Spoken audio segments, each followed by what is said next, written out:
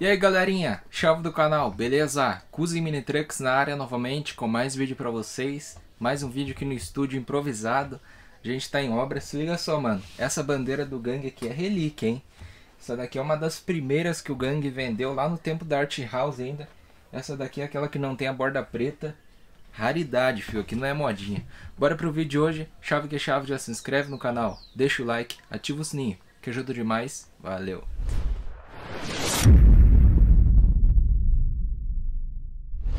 Então, gente, a primeira miniatura do vídeo é o mini Veco dele, edição especial do Mercado Livre. Vocês têm ideia que bacana que é? Se liga só, mano. Esse Veco dele não é aqueles customizado por alguém em casa com adesivo do Mercado Livre e botado a vender.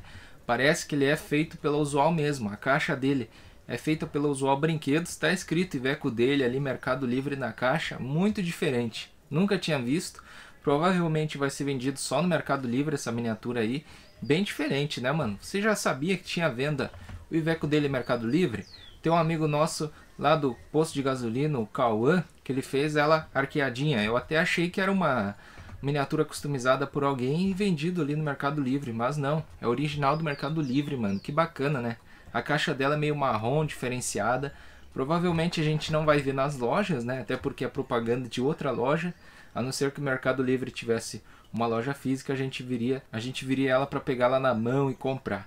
Mas enfim, bacana, mano. Achei bem diferente. E aí, você curtiu ou não? Teria essa minivan, miniveco dele do Mercado Livre? Eu achei bacana, mano. Acho que eu teria.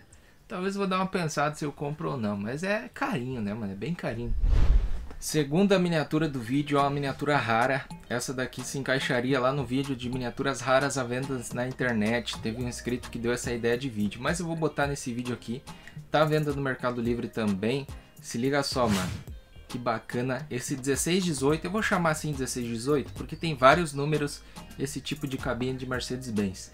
Que bacana, velho. Ele vem com essa carreta McLaren. Eu nem sabia que tinha a venda nas antigas e tem a venda ainda no Mercado Livre também tem com a edição da carreta da Ferrari, mano. Seria meio que um caminhão ali para puxar os carros de Fórmula 1, os carros de corrida, né, da McLaren e da Fórmula 1. Diferente, mano. Eu não sabia que tinha venda esses caminhões antigamente e agora. Você sabia? E eu não sabia, mano. Diferente demais. Bacana, seria legal para ter na coleção para quem curte colecionar miniatura de caminhão, né? Bem diferenciadão. Um fato curioso dessa miniatura é que se você tirar ali a parte de trás da cabine, a cabine lei, ele fica um cabine simples, como se fosse aquele caminhão cegonha, o caminhão tombeira que vem, né? É, com essa cabine aí, é tipo uma miniatura que eles fazem para economizar nas peças e na montagem. Eles fazem encaixada essa cabine estendida dele. É bem esquisitão, mas é uma miniatura bacana para ter na coleção se o cara quer relembrar as antigas e guardar. Porque customizar uma miniatura desse tamanho dá dó, né, velho? Você tá doido.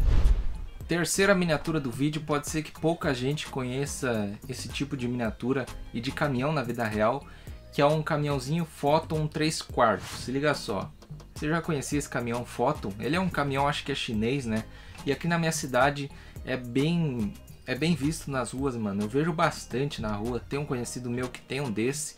Eu vejo bastante nas ruas aqui esse caminhão foto. Bom, não sei como é que é na, na sua região, na sua cidade, no seu estado, se você já viu esse caminhão nas ruas. Comenta aqui embaixo. Porém, olha só que bacana, tem a miniatura dele, mano. Ela é um barra 24, grande, bem detalhada, cabine bascula, abre as portas, abre o baú. É uma miniatura bem bacana e bem chique, velho. E tinha venda aqui no Brasil na loja Mundo das Miniaturas. Parece que já vendeu, mas pode ser que talvez ele traga uma miniatura dessa novamente aí. É bom ficar ligado. Bacana, né, mano? Miniatura do caminhão Photon barra 24, baúzinho. Pensa que bacana comprar esse caminhãozinho aí, rebaixar a frente, arquear a traseira, seria da hora demais, né?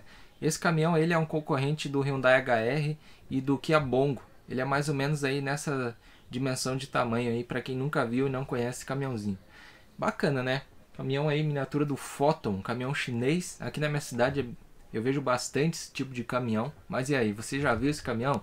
Deixa aqui nos comentários. Quarta miniatura do vídeo, essa que eu também não sabia que tinha venda. Eu sigo uma das maiores lojas de miniaturas aí, é lá de São Paulo, Mundo das Miniaturas. Estou fazendo um jabá de graça aqui, porque foi lá no Instagram deles que eu vi, então tem que deixar o crédito. Esse Mini Actros 1/24. Esse caminhão é muito bacana, velho, porque ele é grandão e seria da hora demais comprar ele para fazer o Actros brasileiro. Olha só o tamanho que ele é, mano. Ele é um plataforma bem grandão, mas a cabine dele é basicamente o Actros brasileiro. Talvez o teto um pouquinho mais alto, seria da hora comprar ele, cortar o teto, baixar um pouquinho. Ter uma miniatura exclusiva e diferenciada na coleção que poucos iriam ter.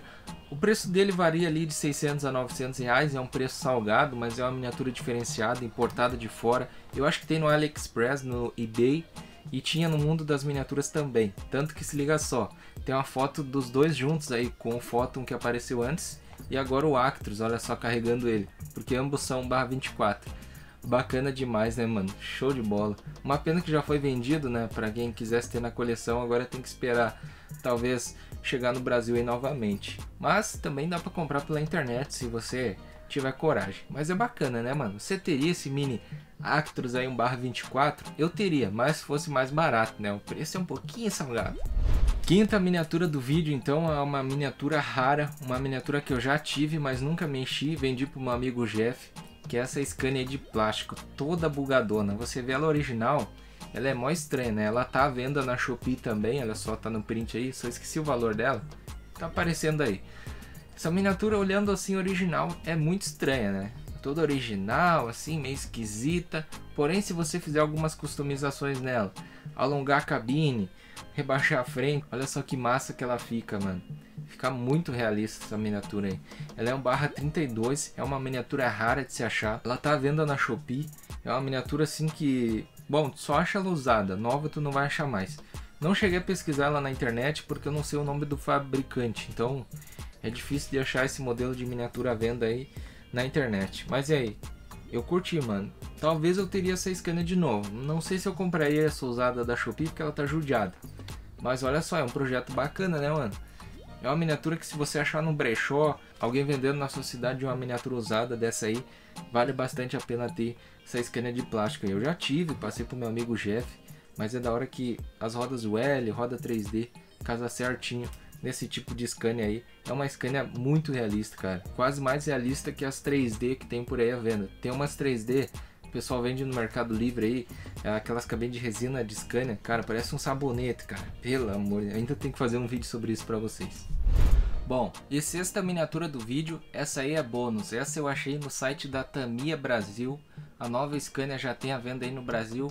Pelo um precinho top, mano. Por apenas 6.900 você pode ter essa mini Scania das novas. E aí, você que tá me assistindo, você tem esse pataco aí para dar nessa nova Scania miniatura aí Tamiya, lembrando que ela é de controle remoto, rádio controle. É um mundo assim, ó, muito distante do mundo aqui das miniaturas 1/32 e 24 que eu trago para vocês. Por isso que eu não sei se ela já vem completa com motor, com controle ali, enfim. É uma miniatura assim, nossa, mano, é um sonho, né? Mas é o preço aí de um quê? Preço de um Uno, de um Chevette, de um Monza, de um Corsa 1.0, enfim, 6.900 é o precinho da nova Scania aí, Tamiya. Pensa que top comprar essa daí, mano, e socar a frente, deixar lixadeira. Se eu tivesse os pila, eu comprava essa Scania aí, mano, cortava tudo por dentro. Nossa, os tiozão ia pistolar comigo. Ia tirar tudo, mola, ferro, tudo, tudo, tudo. Deixava a frente aqui, ó, lixando tudo. A roda não ia nem virar pros lados, tão baixa. Você tá doido? Não queira me ver rico, mano. Eu ia comprar esse tipo de negócio aí só para estragar. Bom pessoal, esse foi um vídeo breve então com cinco miniaturas diferentes à venda na internet que eu não sabia, talvez você também não sabia que tinha venda, por isso que eu trouxe, selecionei elas e trouxe aí em vídeo para vocês estarem vendo. Bom, se você curtiu, já deixa o like, se inscreve no canal e até a próxima. Beleza, pessoal? Tamo junto, valeu! E aí, Cuso Mini Truck? Tesouro da favela!